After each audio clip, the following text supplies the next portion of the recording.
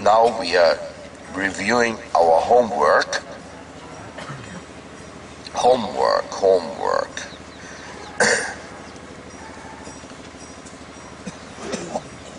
we already. What are you doing for Mother Earth? Did we have that already? No. Huh? No. So this is a question, very practical question. What are you doing for Mother Earth? Are you using soap which is biodegradable or not? Are you making sure there's no paper, no plastic unnecessarily used? Are you strictly against plastic bags, always carrying with you a cloth carry bag so that when you have to carry some item, you have your bag?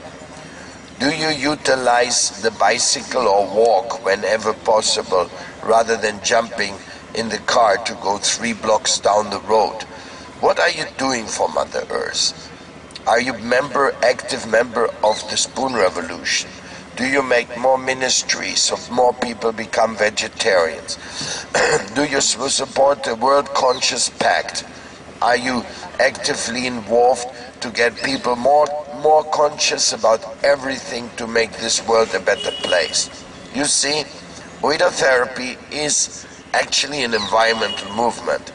It's actually meant to raise the consciousness in the people to make this world a more loving place. And you can't love everybody if you don't love the origin of everybody. If you think everything is an accident and we can do whatever we like in this world, well, then you will not have a great chance change of consciousness.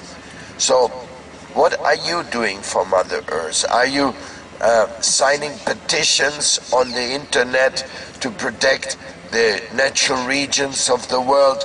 Do you are you do you know anything about organic agriculture?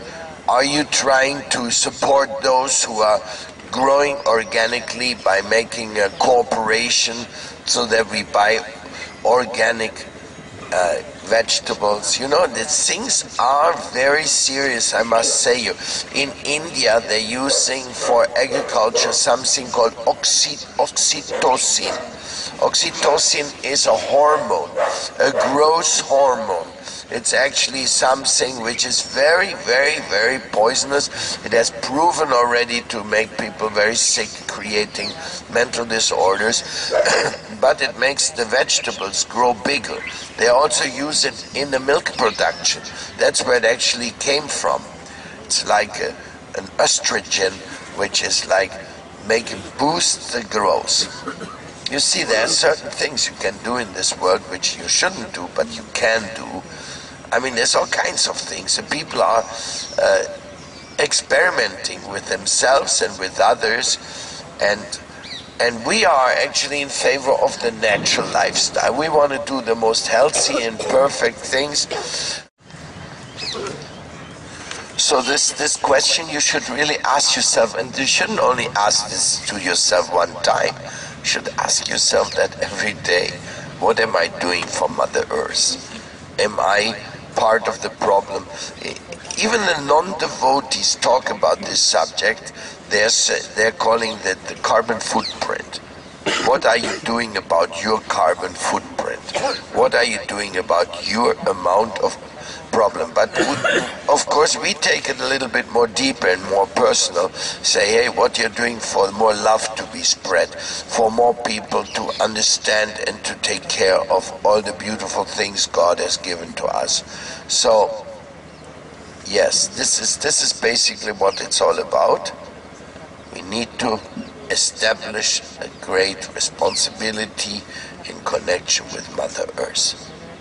And I am very grateful that you are in this spirit because this is what we have learned from our acharyas that we should be very cautious. You know, this Mother Earth is being abused by our lifestyle. Our modern lifestyle is not very healthy for Mother Earth.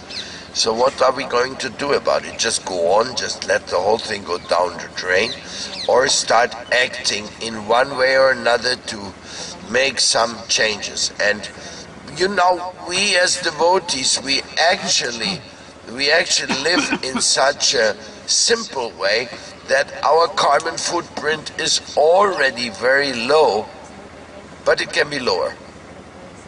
Especially if we stop using any kind of plastic in our environment, as much as we can avoid it, then our carbon footprint is improved. So, anyhow, this is for today. What are you doing for Mother Earth? And I think we missed out one. Did we miss out one day on the on the homework? We stop in 16. From whom would you like to receive an order or instruction? No. Afterward, we we made who who could be worshipped. Maybe you were not there, but then how to worship the deities. We also made that number 18. You were not there at that point when we when we said this, but I remember last time I was up here I was reading these two. So we are uh, anyway we can do another one for today. So number 20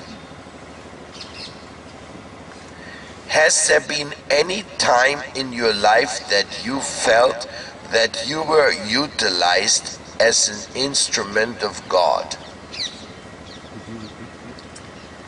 Has there been any time in your life when you felt that you are an instrument of God, that God is utilizing you for something? Write this down. This is very important. ¿En qué momento has sentido que fuiste utilizado como un instrumento de Dios? This, this is so important because this, when you when you think about that, you really really start realizing how dear we are all to Krishna, and how much Krishna is looking after us, and how much we have to do the things the way Krishna likes because only by doing things in life as Krishna likes, we will be happy and we will have a chance to make others happy. So please take this into consideration. Number 20. In what moment have you felt that you are utilized as an instrument of Krishna. Of course, we, we wish to be utilized as an instrument of Krishna's love, but sometimes we may also feel like we are an instrument of Parsa Sarati, you don't have to run around, you just stand there with a stick. This is this is enough. And you look great. You look like a like a real guardian, you know? And surely you're impressive to our monkey population. Huh? So, so this, so we have reached number 20 in this of our homework. I really hope you have a lot of fun with your homework because this homework will have a great impact on your spiritual advancement. This is what it, it was designed in such a way that that we will make spiritual progress by doing so.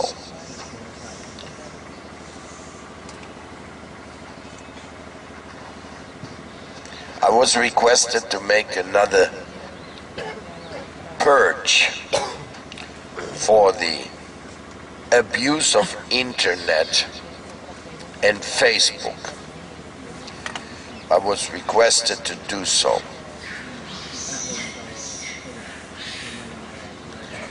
Is somebody typing? No, no.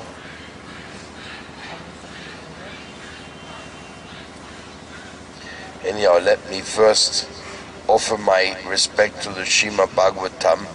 Today we are reading from the prayers of Queen Kunti.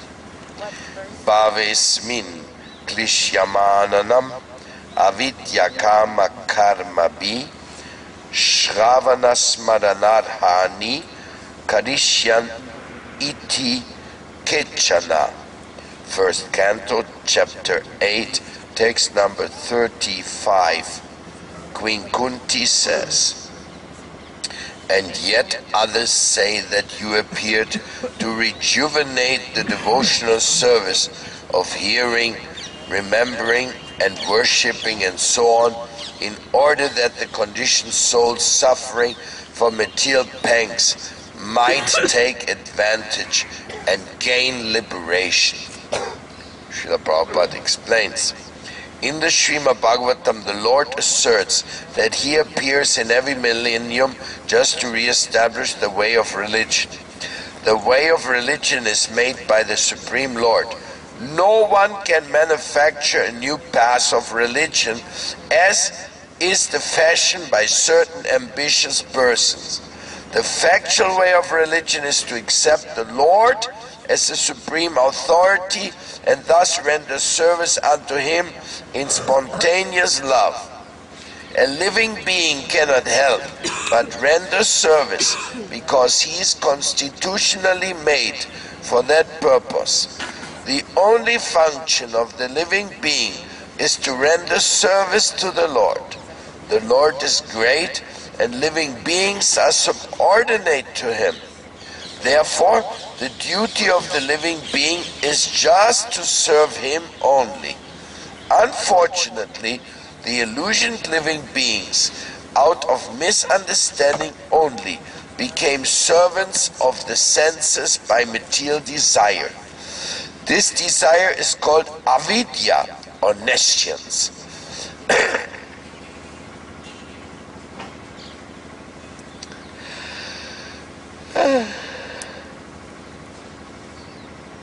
And out of such desire, the living beings make different plans for material enjoyment centered about a perverted sex life. He therefore becomes entangled in the chain of birth and death by transmigrating into different bodies on different planets under the direction of the Supreme Lord. Unless, therefore, one is beyond the boundary of this nescience, one cannot get free from the threefold miseries of material life. That is the law of nature.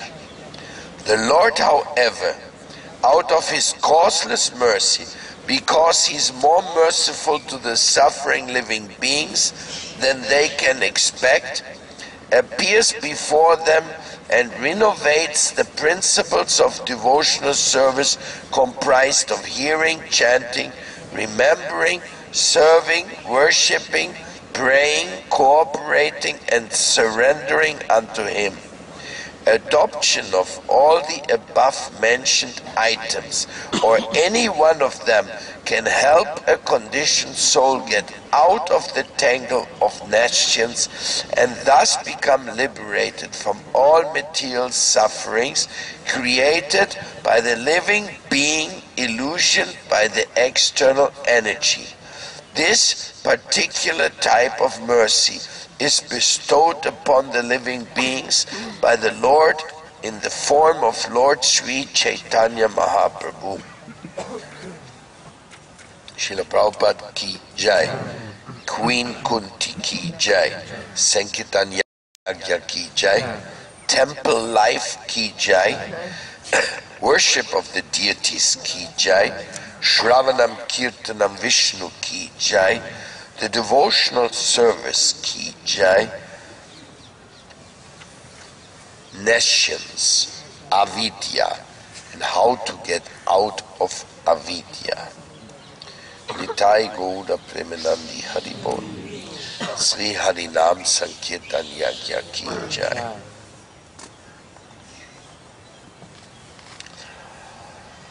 नमो विष्णु बदाय कृष्ण बस्ताय भूतले श्रीमाते भक्ति वेदांता स्वामी निधि नामने नमस्ते सरस्वती देवी गौरवाणी प्रक्षारिणे निर्विशेष शून्यवादी पस्काच्यते श्री कृष्ण चैतन्य प्रभु नित्यानंद श्री अद्वैत गदाधा शिव सदि गौर भक्तविंद हरे कृष्ण हरे Krishna Krishna Krishna Hare Hare Hare Rama, Hare Rama, Ram Rama, Hare.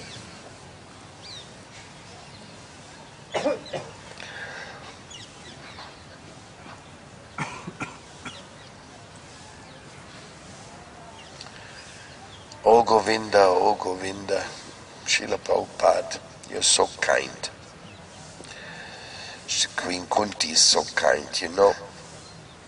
If you look carefully, on all the messages coming from the Vedas, like this verse we are reading today, this is a perfect example. you immediately understand that we have to shape up. They say shape up or ship out. Something like this. Meaning, either you do it or you're going to be lost. So, tell me please, who is calling upon our attention in this way? Where? In the schools? Do in the schools they request you to follow any kind of principles? In the universities, do the teachers have some principles or some higher conception how to be spiritually focused and clear? Just tell me that. Where? Do you ever turn on the television and it tells you smoking will make you sick and dumb? Where and when are we called upon for developing higher qualities? I mean, this is education in its truest sense of the word. Peace education, love education, value education, non-violence education. Hmm? What is it really? What is it what we need to cultivate? And who will help us to do so? This is, is a, such a crucial question. I mean, Japananda, he was brought up in a well family, going to best schools of Mallorca, business school, everything. Did ever somebody really preach to you against smoking marijuana? Or against drinking whiskey? I couldn't find deeper meanings of life anywhere there. This is amazing, you know? Even the Christians, they know it's wrong, but they don't speak against it. Maybe in Catholic high school they tell you not to have sex before marriage. Maybe. Maybe. If there's nuns who are the teachers. but otherwise, who's telling the kids not to have sex?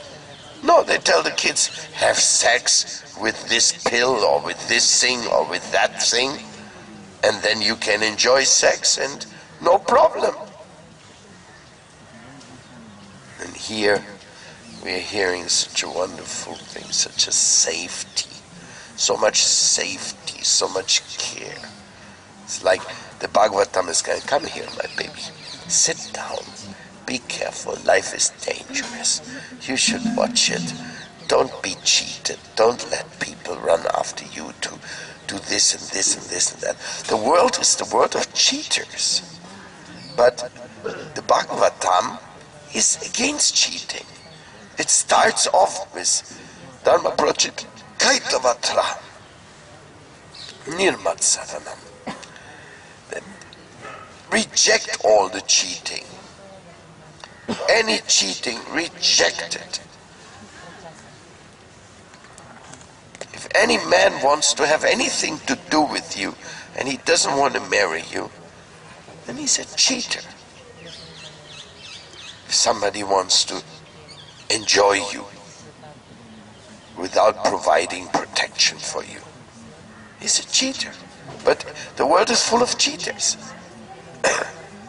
People they say marriage is useless.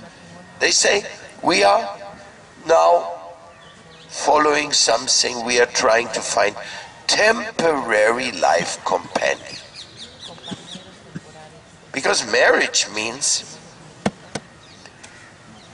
from now on half of my property is yours. Otherwise, don't propose to touch me. Hmm? Well, if you want to have a wife, that's what the wife is all about. She's your life partner. So as a life partner, how are you going to say you're a life partner for, you mean you're my free employee? work for me and that's all? What, what is it?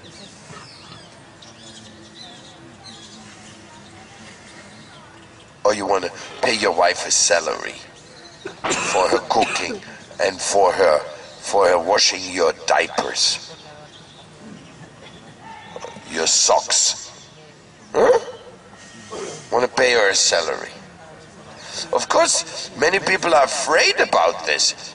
If I marry this woman and she's going to own half of what I have, then the next moment she's going to go to court and she's going to get go. I'm divorcing this man. He treated me bad. Now I will stay with 50% of his properties. We have heard about cases like this, right? So it's like a risky thing. Even getting married is may, maybe the most risky thing, especially if you're rich.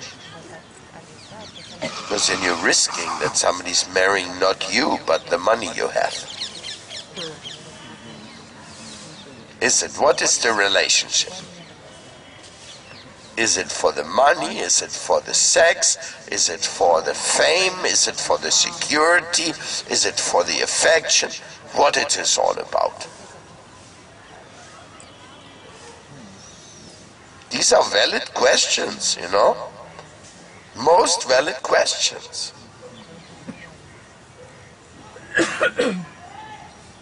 we, we, we hear it every day. Every day in this world, this kind of struggle is going on. People divorce, my God. What a mess. And then comes the worst of the story the children. Now, the children are mine or yours? and a little boy or little girl in between the parents, each one takes an arm. No, he's mine. No, he's mine. No, he's mine. And the children, uh,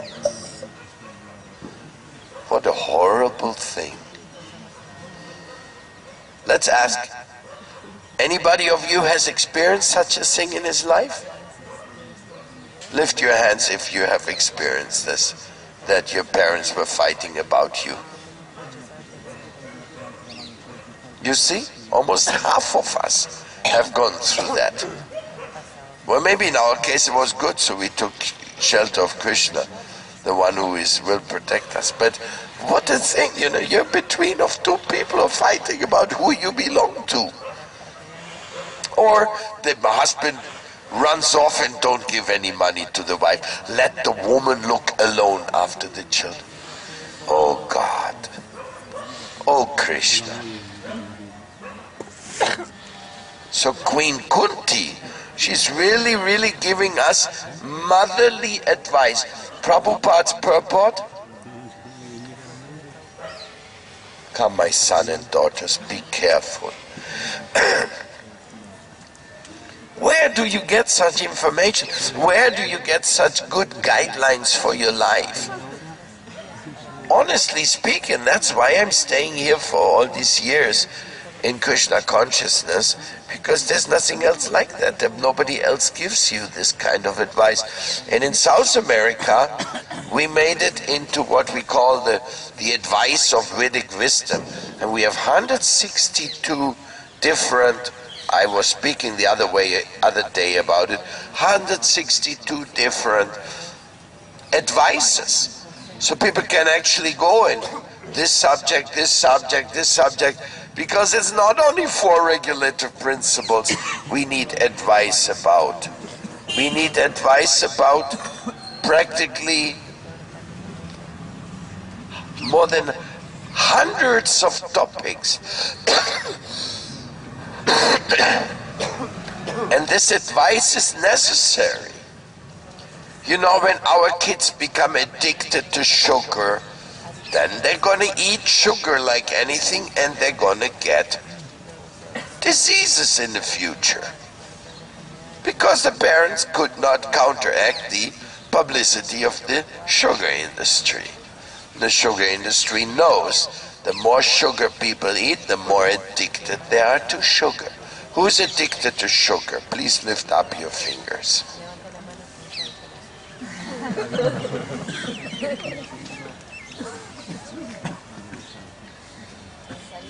You're not? Huh? You overcame it. I'm also fighting it. But I cannot deny that when there's something sweet and I put it on my tongue, it's. It's a sweet drug and not healthy. What is big of white sugar? White sugar is stupid. Only stupid people use white sugar, so I'm also stupid because I sometimes eat something that give me this white sugar inside. Because at that moment, I feel more attracted to the taste than to, hey, this is white sugar, I shouldn't touch it. Somebody gives. Of course, in India it's more difficult because the Mahaprasadam in the temples, no? They, they have all over the Mahaprasadam. Because in the past, everything was made by gur.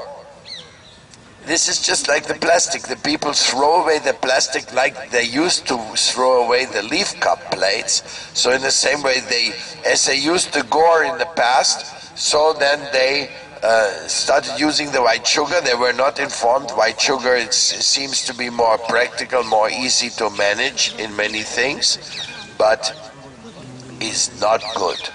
Brown sugar or gur is the best, and you can produce just as wonderful, delicious things. It is completely nonsense to think that you need white sugar. It's only in industry.